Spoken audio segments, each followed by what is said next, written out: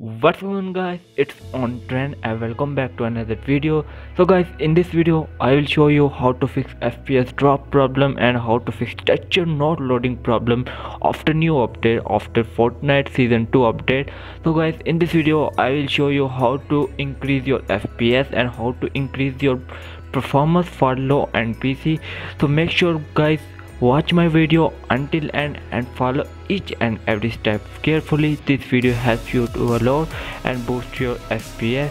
So make sure boys watch my whole video until end and follow my each step. So roll the video. Peace out.